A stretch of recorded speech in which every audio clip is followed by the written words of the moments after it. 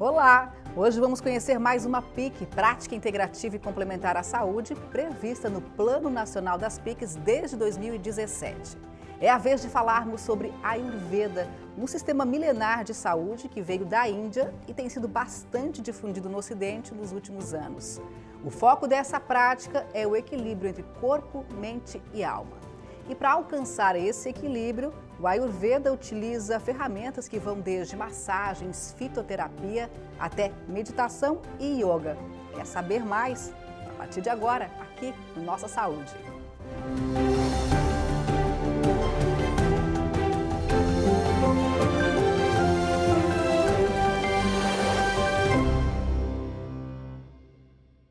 E hoje teremos duas convidadas, a Noeli Toledo, que é presidente do Conselho Nacional de Autorregulamentação do Ayurveda e diretora da Escola Ayurveda Sati em Tubarão. Ela trabalha há 14 anos com essa prática. E também Adriana Tonini, que é fisioterapeuta lá em São Miguel do Oeste, conheceu o Ayurveda por meio do yoga e trabalha há um ano e meio com a prática. Oi, Adriana. Oi, Noeli. Tudo bem com vocês? Tudo bem. Tudo bem? Muito agradecida pelo convite. Que bom, sejam muito bem-vindas aqui ao Nossa Saúde. E eu queria começar sabendo de vocês, né? Como é que vocês conheceram o Ayurveda e como é que é o trabalho de vocês no dia a dia com essa prática? Pode começar com você, Noeli? Então, é, eu conheci o Ayurveda tem uns 15 anos. É, eu sou da área do direito, e aí encontrei com uns amigos que estavam fazendo tratamento de saúde através do Ayurveda. E, e eu achei incrível, né? Porque é uma proposta que vê o, o ser humano, né, na sua integralidade, corpo, espírito e mente, né? E eu achei incrível, foi amor à primeira vista, fui estudar Ayurveda e nunca mais parei. E assim a gente continua. Inclusive, hoje você tem uma escola de formação é, de então, terapeutas. Então, é, essa escola já, já tem bastante tempo, né? Eu sou do Rio Grande do Sul e a gente tinha essa escola lá desde 2008 em Porto Alegre. E aí é, eu estou em Tubarão há, há cinco anos e aí a gente criou outra escola aqui em Tubarão, né, para Santa Catarina. Mas essa escola de Porto Alegre ainda continua. E você, Adriana, como é que você conheceu o Ayurveda? Então, eu conheci o Ayurveda é, pela formação de yoga, né? Eu fui fazer há nove anos atrás a formação de yoga integrativa na Montanha Encantada, e ali é, foi começou a ser falado sobre o Ayurveda, né? Porque o, o yoga e o Ayurveda, né, trabalham juntos, no caso, né? São filhos da mesma da mesma mãe, como eu digo, asas da mesma borboleta. Então, a partir dessa formação do yoga, eu comecei a estudar essa questão dos doshas relacionados às práticas do yoga, né? Mais tarde nós vamos falar sobre os doshas. E demorou um tempo até que é, eu encontrasse um curso de formação, porque os cursos de formação, na verdade, explodiram de dois, três anos para cá. Até um tempo atrás era difícil conseguir fazer um curso de formação, né? Mesmo morando em Porto Alegre há muito tempo atrás, é, não, ainda não tinham cursos de formação. E daí surgiu em Passo Fundo, né? Chegou para mim através do Facebook a formação da Noeli Passati Escola de Ayurveda. Eu disse, não, é agora a oportunidade, né, para que eu consiga fazer essa formação e eu fui fazer essa formação daí, através disso. Mas foi através do, despertou essa vontade de conhecer o Ayurveda através do Yoga, por ela ser complementar, né. E hoje você trabalha como terapeuta aí em São Miguel do Oeste, é isso? Sim, hoje eu trabalho como terapeuta. Eu fiz a formação e, por ser já fisioterapeuta e não estar satisfeita, né, com os tratamentos, né, a maneira como é abordado o paciente na fisioterapia, eu logo comecei a trabalhar com, as, com a terapia Ayurveda. Montei um espaço de Ayurveda, né, e faço atendimentos relacionados a, a essa prática. Né. Então, praticamente não, não trabalho mais com fisioterapia, só com, com Ayurveda e Yoga, né? Com estúdio de Yoga também, Yoga e Ayurveda. Bacana conhecer um pouquinho aí da história de vocês. E agora vamos um pouquinho para a história do Ayurveda. Né? Essa palavra Ayurveda é proveniente do sânscrito, que quer dizer exatamente o quê? Então, é, o Ayurveda ele nasce na Índia, né? E, em sânscrito quer dizer Ayus, quer dizer vida, e Veda quer dizer conhecimento, ciência, né? Então, o Ayurveda seria o conhecimento da vida. É, se tem notícias de que é, começou, né? É, os livros clássicos, o que existe de literatura, é, a gente acredita que o Ayurveda tenha em torno de 5 mil anos e que ela seja a medicina mãe de todas as outras medicinas, né? A gente acredita que todas as outras medicinas, elas, as medicinas tradicionais, principalmente, né? Não a a alopática, né? É, elas vieram do Ayurveda, desse conhecimento védico que a gente chama. Lá na Índia, inclusive, a, o Ayurveda é tratado como medicina desde sempre. Aqui no Brasil, como é que funciona? É também medicina? É uma terapia? Como é que é isso, Adriana? Então, a Noeli até sabe responder melhor do que eu essa questão da prática do Ayurveda, né, aqui no Brasil da questão da, das formações aqui no país serem de terapeuta Ayurveda e não de medicina, né? Porque para se tornar médico, a Ayurveda tem, é, são muito mais anos e a formação só existe na Índia, né, no Ili. Então, aqui a gente forma terapeuta Ayurvedas, né? São formações de um ano e meio, dois, agora já existem formações intensivas, mas não existe, não existe a formação do médico Ayurveda aqui no Brasil, só na Índia. O Eli quer complementar? Então, é, na Índia, um, antigamente, né, não, não existia uma faculdade de medicina, né? Ah, as pessoas, elas estudavam no método, método que se chama Gurukulam, é de mestre para aluno. Então, o aluno ia e ficava com esse mestre é, por 8, 10, 14 anos, e ali ele acompanhava toda a vivência né, é, desse, desse professor, desse mestre. É, faz pouco tempo, na verdade, que se instalaram, então, as universidades de medicina. Hoje, hoje, atualmente na Índia, né, então, o Ayurveda se dá através de um curso de medicina, que são cinco anos e meio, igual a nossa medicina aqui, que são seis anos, né, e também tem a residência, residência 1, residência 2 e especialidades. Para o Brasil e para o mundo, né, não só para o Brasil, mas para o mundo, esse conhecimento veio em forma de terapia. É, não se sabe exatamente em que tempo que se começou a se chamar terapeuta Ayurveda, né? Então, a gente diz terapeuta Ayurveda, a gente diz profissionais do Ayurveda, mas a gente não usa o termo medicina Ayurveda, para não confundir. É, poderia ser usado medicina tradicional Ayurveda, né? para haver essa diferença, mas os nossos cursos não são cursos de medicina. Curso de medicina é somente é, na Índia. Inclusive, no Brasil, nós só temos um médico ayurvédico, que é um brasileiro que foi para a Índia e fez lá a faculdade de medicina, é, se formou no ano passado. Hoje a gente tem mais quatro brasileiros é, estudando Ayurveda na Índia. Né? Então, na verdade, aqui no Brasil, todos os profissionais Seja um médico, seja o nutricionista, fisioterapeuta, enfermeiros, advogados, qualquer um pode estudar o Ayurveda, né? Mas ele vai ser a sua profissão, por exemplo, médico, né? Ele vai ser um médico e terapeuta Ayurveda. Ah, que legal conhecer um pouquinho sobre essa história. Agora, o Ayurveda, ele tem se difundido bastante aqui no Ocidente nos últimos anos. A gente tem ouvido cada vez mais falar sobre essa prática, né? É, qual seria a explicação? É por tudo isso que o Ayurveda traz para as pessoas, né? por toda essa, digamos, filosofia de vida, esse sistema de saúde que preza, aí, como você falou, né, a questão do corpo, da mente, da alma? Então, Rafaela, é muito interessante porque, assim, a Organização Mundial da Saúde, ela, ela colocou é, que dentro das medicinas tradicionais, o Ayurveda é, tem uma eficiência muito grande. e ela recomendava para todos os países, né, a inclusão do Ayurveda nos seus sistemas é, de saúde.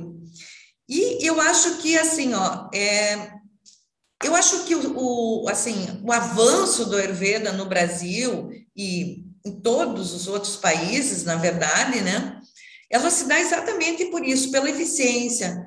É uma, é um, são procedimentos muito simples, é, mas que fazem toda uma diferença, né? Então, eu acredito que o Ayurveda cresce e também à medida que as pessoas estão saindo um pouco do externo e voltando para dentro, né? É, principalmente agora com a pandemia, houve esse processo assim muito acelerado, né?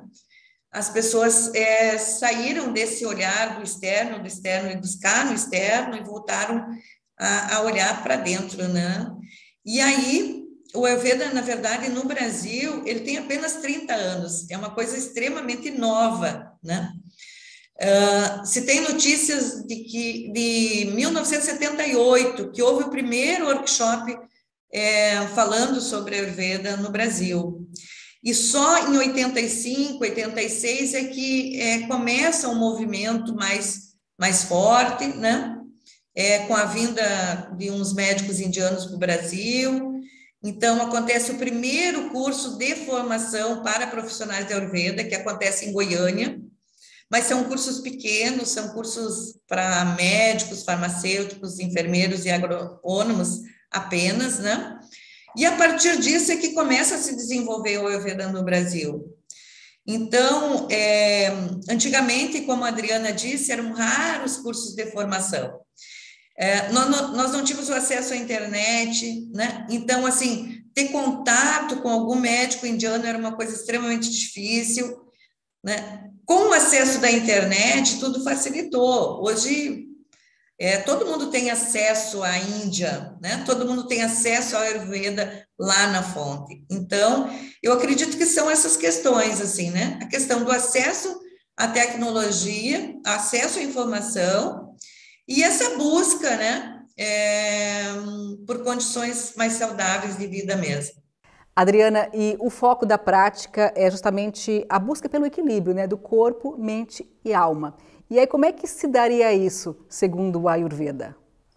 Segundo o Ayurveda, é, esse equilíbrio se dá como um todo através, uh, podemos chamar de pilares né, do Ayurveda através da o equilíbrio do corpo, da mente e do espírito, através da alimentação, através do movimento, através da meditação, através da, das práticas de silêncio. Então, são pilares da Ayurveda que se usa para conseguir esse estado de plenitude, né? E de saúde de corpo, mente e espírito, né? Entra aí também a yoga, né? Como um, um tratamento do, do Ayurveda. E retomando antes, assim, eu acho que o Ayurveda vem junto com toda essa procura pela evolução do ser, junto com, as, com todas as práticas integrativas de saúde, né? Como nos outros teus programas tu já colocaste também, né? Aromaterapia, constelação familiar, é, é uma procura pela, pela busca interior, como disse a Noeli uh, a, na, na outra fala. Então, a Ayurveda se dá através dessas práticas, né? De olhar o ser como um todo, com orientação no estilo de vida, né? Uh, prestando atenção é, nas atividades de vida diária da pessoa e fazendo essa ligação entre corpo, mente e espírito.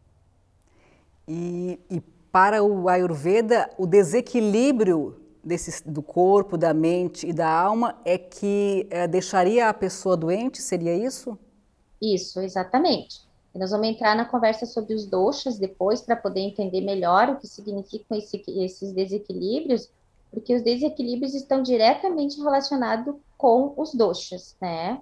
Com o dosha, que nós vamos falar depois, que é o dosha que a pessoa nasceu, e os desequilíbrios que desenvolve durante a vida, né?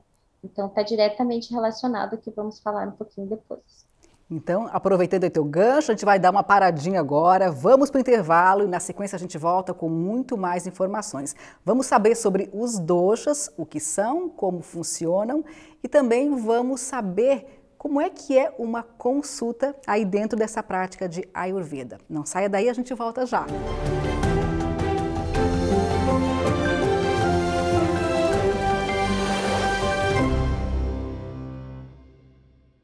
Estamos de volta com Nossa Saúde. A gente segue aqui a nossa conversa hoje falando sobre o Ayurveda. E aí, nós terminamos o primeiro bloco falando sobre os doshas né, que tem uma fundamental importância dentro do Ayurveda. E eu quero saber o que são os doshas, então. Vamos começar por você, Adriana? Então, os doshas né, no, no Ayurveda representam uh, os três humores, né, que são os aspectos biopsicofísicos da pessoa. Então, o que, que são os doshas? Nós somos o microcosmo do macrocosmo, né? Somos compostos de água, água, terra, fogo, ar e éter. Os doshas também são compostos por esses cinco elementos. O dosha vata é composto pelo, pelos elementos ar e éter, o dosha pita, fogo e água, o dosha kapha, terra e água, certo? Cada dosha, ele tem os seus uh, atributos, Tá? Vou falar rapidamente. Assim, o Doshavata, por exemplo, ele apresenta uh, o atributo do frio, do seco, do leve, do rápido. O Dosha Pita, ele é quente, oleoso, leve, penetrante. O Dosha Kapha, ele é frio, oleoso, pesado. Então, são características dos doshas que, em equilíbrio, tá tudo bem, né? Sendo o Vata o, o do movimento composto de ar e éter, ele principalmente no nosso organismo, olha como uma coisa vai fechar tudinho agora com o que eu vou falar. O dosha Vata é responsável pelo movimento, tá? Esse movimento no nosso organismo vai ser responsável, responsável pelos movimentos de eliminação, que são fundamentais para a saúde, falando em questões de, questões de intestino, pelo movimento da circulação. O dosha pita, ele é o princípio da digestão e transformação, não só da digestão a nível de sistema digestivo, mas como digestão das nossas emoções, dos nossos pensamentos, desse processo de uh, digestão emocional e mental, né? E o dosha kapha, ele é responsável pela nossa estrutura e pela nossa lubrificação. Então, a gente precisa dos três doshas em harmonia para que ocorra o um movimento no nosso corpo, o metabolismo do nosso corpo e a lubrificação, né? Sem a lubrificação não há um movimento correto, sem o metabolismo também não. Então, esses três doshas agindo em equilíbrio, a gente tem a saúde, tá? Falando rapidinho assim, sobre, por exemplo, uh, o que, que é o dosha como se fosse o dosha original ou dosha da, do, né, que a gente diria a constituição genética da pessoa segundo a Ayurveda, né? Seria a se chama de Pakriti, tá?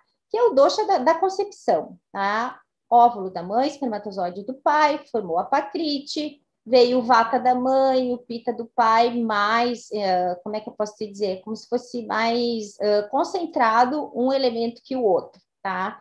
Então, vai formar o dosha vata, pita, sendo que nós, sendo que temos os três doshas no corpo, porque eles são necessários para que tudo funcione de maneira harmônica.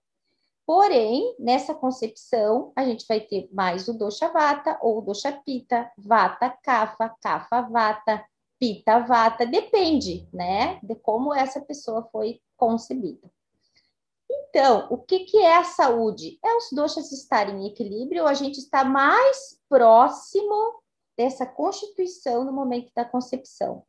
Os desequilíbrios vão acontecer quando esses doshas estão em desarmonia, tá? Quando o dosha vata está em desarmonia, o pita, o dosha pode estar tá agravado, né, para mais, pode ter pouco agravado, muito agravado, e tudo isso vai ser observado em uma consulta de Ayurveda.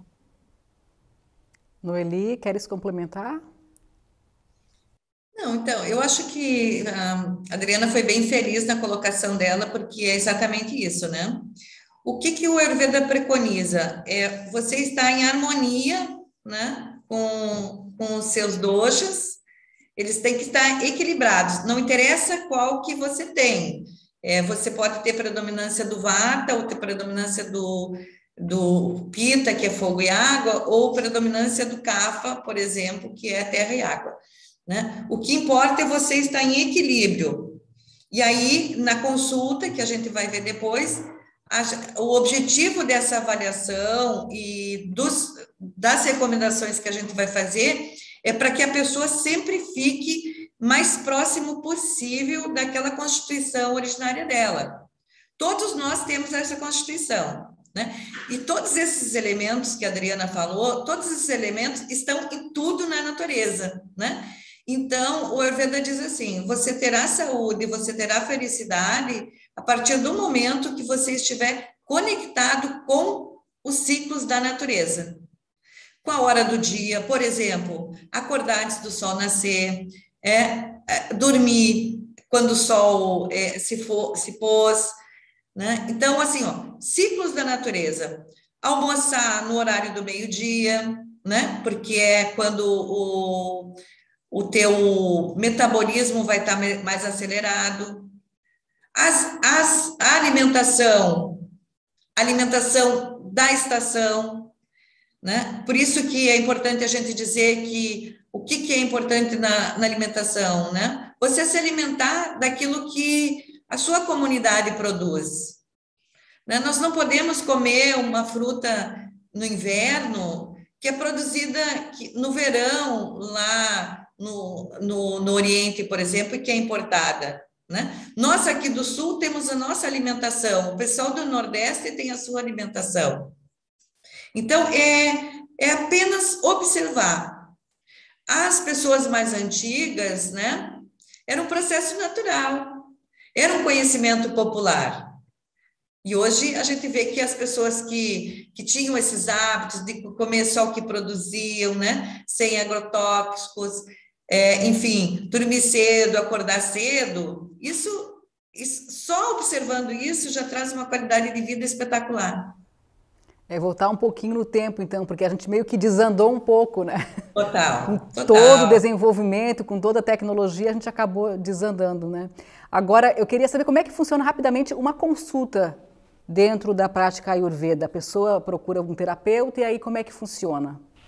Então, a avaliação Ayurveda, a gente né, chama de avaliação, é, a gente vai fazer essa avaliação que a Adriana falou dos doshas, né? Isso é fundamental. Então, a gente vai saber como é que como é que se dá a digestão dessa pessoa, se ela tem uma digestão rápida, lenta, demorada, né? Como é que é a qualidade de sono, se ela tem um sono regular, se ela tem insônia, é, como é que ela fala, como é que é as características da pele dela, como é que é a característica do cabelo, das unhas, da língua. Enfim, é, poderia te dizer, Rafaela, que, são, que a gente observa em torno de 60 itens para a gente chegar, fazer um diagnóstico, dizer, bom, essa pessoa está com desequilíbrio é, nesses doxas. A partir dessa observação, que é feita desde o primeiro momento que a pessoa entra, o jeito que ela caminha é, nos diz alguma coisa, o jeito que ela senta na cadeira nos diz alguma coisa. A partir disso, a gente monta um programa, então, que vai estar incluso rotinas diárias, desde raspar a língua de manhã. É, na noite, as toxinas, elas vêm é, para a língua, se você de manhã você simplesmente escova seus dentes e sua língua, você está colocando de volta essas toxinas. Isso é um hábito muito simples, mas vocês não têm ideia do quanto isso acrescenta na qualidade de vida das pessoas. Então, raspar língua, que a gente tem um raspador de língua indicado, ou com a própria colher. Aí, a partir disso, faz a escovação. Depois, toma um copo de água morna em jejum, isso todos os dias da vida, né? Não é água com limão, tá, gente? Porque água com limão é quando você precisa de água com limão. E tem aí um, uma crença, né, de que água limão com limão morna em jejum é, emagrece. Isso é mentira, tá, gente? Então, assim, o que é legal é porque a água morna vai dizer assim para o teu organismo: vamos lá, estamos acordando. Né? Aí depois é, tem outras, outras práticas, passar óleo no corpo, né? A alimentação, a gente orienta uma alimentação. Na homeopatia, que talvez vocês já até já tiveram esse programa, eu não, não sei. Na homeopatia, semelhantes trata semelhantes. No Ayurveda, opostos trata opostos. Então, se você tem muito na sua constituição o alimento ar e éter, que são alimentos leves, você, na sua alimentação, você precisa ter é, alimentos que contenham é, qualidades pesadas, né? Você precisa aterrar, literalmente. Então, alimentos pesados, por exemplo, beterraba, uh, cenoura, aipim, batata doce, né? É os opostos, sempre opostos. Se você tem muito na sua constituição o elemento fogo, que é pita, né? Você precisa consumir coisas que refresquem esse corpo. Aí você vai, por exemplo, tomar água de coco, consumir folhas amargas. Então, com relação à alimentação, é isso. É bem diferente da nutrição funcional que nós conhecemos, mas é muito interessante. E também vamos orientar o uso de ervas medicinais, também que tenham essas propriedades aí que eu falei para vocês, né, dos elementos, e procedimentos, a gente usa vários procedimentos no Ayurveda. Usa oleações, é, por exemplo, para nutrição, se um corpo está precisando de nutrição, a gente vai usar óleo. Se esse corpo está precisando retirar, é, por exemplo, vou dar um exemplo aqui, não é bem isso, mas vou usar. Por exemplo, a pessoa precisa perder peso né? Precisa eliminar toxinas, digamos assim. Então, a gente vai fazer uma, uma massagem com ervas e pós quentes, picantes. A gente tem o tratamento da Shirodara, aquele, aquele fluxo que cai na testa, que a gente trata desequilíbrios é, neurológicos, né? Esclerose múltipla, Alzheimer, Parkinson, síndrome do pânico, insônia, tudo isso a gente consegue tratar no Ayurveda. E muitos outros procedimentos que a gente tem. E meditação, exercício físico, uma caminhada, né? Um, uma yoga, uma meditação. Enfim, resumidamente, Rafaela, é isso que se resume o Ayurveda. E agora então a gente vai ver uma reportagem que a nossa equipe preparou mostrando o exemplo de quem incluiu o Ayurveda no dia a dia e está se beneficiando dessa prática. Vamos saber também como é que está sendo o trabalho do Observatório Catarinense de Práticas Integrativas para incluir essa prática no SUS. Vamos ver? A Tassiana sempre simpatizou com a Ayurveda. As práticas foram inseridas no seu dia a dia de forma muito intuitiva até que ela sentiu o desejo de ir além. Há dois anos, se formou em terapeuta Ayurveda e mergulhou de vez no estilo de vida que a prática sugere. Eu, eu vejo como um caminho de autoconhecimento. A Ayurveda é um, é um, é um conjunto né, um maravilhoso de conhecimentos que, que proporcionam esse caminho de autodescoberta, de equilíbrio, de harmonia é, ao encontro de si mesmo e ao encontro dessa, dessa magnitude que a gente vive é, dos elementos da natureza, né? essa integração total. Uma das práticas que ela mais gosta é da automassagem. A Bianga é, um, é uma terapia que se faz, em, o terapeuta faz em outra pessoa, né? Mas a gente tem a possibilidade de fazer também em si mesmo, através da autoobservação de como estão os elementos agindo no teu corpo, né, no, no, teu, no teu estado mental, teu estado emocional, teu estado físico também, e selecionando ervas e óleos adequados para harmonizar, buscando o equilíbrio. Então, eu faço essa automassagem com os óleos, na cabeça, no corpo, na, nas palmas das mãos, na sola dos pés, e isso produz um relaxamento praticamente imediato, né? A gente começa a sentir também os efeitos das ervas atuando no corpo e, e a busca por esse equilíbrio para mim é algo é, faz, parte da rotina. Não tem como é, não mais praticar a Ayurveda. A Júlia, que também é terapeuta Ayurveda e atua no Observatório Catarinense de Práticas Integrativas e Complementares, destaca que a oferta da terapia no Brasil e no estado ainda é escassa principalmente quando disponibilizada via SUS. Hoje no observatório nós estamos mapeando as práticas integrativas em todos os municípios do estado, né? Nós estamos aí quase com a metade dos municípios já respondendo e até agora não tivemos nenhum é, que colocou que aplica a Ayurveda, né, ou que tem essa experiência. Inclusive o próprio observatório, né, tem tentado é, organizar algumas sensibilizações em relação ao Ayurveda, não como um curso, né? A gente consegue hoje ter curso de outras terapias, né, do reiki, é, digestão também, dança circular, florais, mas a Ayurveda a gente tem trabalhado mais sensibilizações mesmo, para que as pessoas principalmente conheçam, né?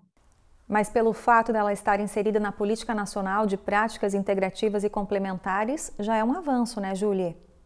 Sem dúvida, sem dúvida, por ter sido reconhecida principalmente, né? Porque você vê, não, nós não é permitido que médicos ayurvédicos atuem no Brasil, né? Mas sim terapeutas, né? Então já é um reconhecimento e, e os profissionais que atuam com isso têm buscado cada vez mais, né? Trabalhar de uma forma bastante séria, comprometida, tentando aplicar a Ayurveda raiz mesmo, né? Da forma como ele foi concebido lá há 5 mil anos na Índia. Né? É uma grande dificuldade de acessar ainda, mas ao mesmo tempo, quando a gente consegue realmente falar de Ayurveda, né, é, e, e, encantar as pessoas, é algo tão simples de fazer, sabe? Porque é, é só uma mudança do teu estilo de vida, é um cuidado que você tem que ter com você mesma, sabe? É uma mudança de percepção, eu diria, né? Que muitas vezes a gente não tem, assim, a nossa rotina mesmo. E quando a gente começa a dar esses pequenos passos, nossa, a mudança ela é enorme. Assim.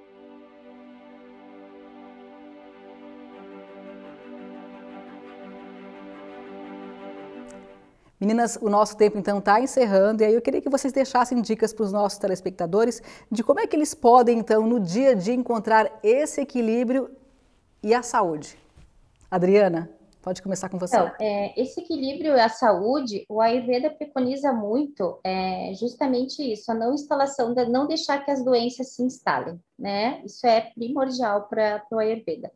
Não deixar que a doença se instale vem dessa auto-observação observar o que, que na tua rotina de vida diária não te faz bem, observar qual o melhor horário para você dormir, acordar, observar aquela alimentação adequada, como a Noeli falou antes, adequada à estação, e procurar conhecer um pouco mais do Ayurveda, né? Porque as pessoas, as pessoas podem entender que o terapeuta Ayurveda pode ser procurado sempre que algum tipo de sintoma, mal-estar, estiver acontecendo, quando ela souber observar isso no dia a dia. A má digestão, o intestino que não está funcionando, a preguiça, a letargia, a falta de concentração, a insônia, né, a tristeza, tudo isso, né, pode não piorar, né, e ser removido se as pessoas conhecerem o Ayurveda ou chegar até um terapeuta Ayurveda, né? Que a gente vai fazer uh, uma orientação quanto ao estilo de vida da pessoa. Alimentação, fitoterapia, desintoxicação, que acabou não dando tempo para falar sobre anti-ama, né? A, a, o fator de desintoxicar aquele organismo para melhorar a saúde da pessoa e não deixar, mais uma vez falando, que as doenças sim se instalam. Ah, mais ou menos por aí. Noeli, ou seja, mudança de hábito total, né, gente? Mudança de hábito total. É então, é uma mudança de vida. É, eu, eu, eu não digo total, porque quando a gente fala assim, uma mudança de hábito total, a gente assusta as pessoas, né? uma grande disse, mudança de hábito, então. É, pequenas mudanças, pequenas mudanças fazem toda a diferença, né? Então, por exemplo, a gente pode começar com uma pequena mudança que o Ayurveda preconiza, que é assim, você só comer quando tem fome. Isso é muito importante no Ayurveda. É, a medicina moderna hoje fala do jejum intermitente. Isso já existia no Ayurveda 5 mil anos atrás. Você só deve se alimentar quando você sentir fome, porque isso significa que, a sua, que o seu sistema digestivo fez todo o processo. Então, você está apto para se alimentar de novo. Não comer na frente da televisão, por exemplo, mastigar calmamente, Dormir oito horas. Dormir é fundamental, porque quando você dorme, o seu metabolismo vai processar eh, todas ah, o que você se alimentou, as suas emoções, enfim. Né? É se conectar com a natureza, se conectar com os ciclos. Se estamos no inverno, a gente tem que se recolher. Isso é que o inverno diz. Né? Então, a gente observar é, todas as horas do dia, fazer caminhadas, né? se alimentar do que a gente tem na comunidade, simplicidade. O Ayurveda é simplicidade, e é essa palavra que eu quero deixar para vocês aqui. Vivam no simples. A comida boa é aquela comida que é simples, que você está acostumado, que faz bem para você. Que maravilha, Noeli Adriana, adorei o nosso bate-papo. Pena que o tempo foi curto para falar tanta coisa sobre uh, essa prática tão rica de informações, né? Como você falou, simples, pequenas mudanças de hábito que provocam grandes resultados. Muito, muito obrigada, meninas. E assim então a gente vai encerrando o programa Nossa Saúde de hoje. A você obrigada pela audiência e lembrando que no próximo programa tem mais uma entrevista da nossa série sobre as práticas integrativas e complementares que estão aí à disposição no Sistema Único de Saúde. Até a próxima!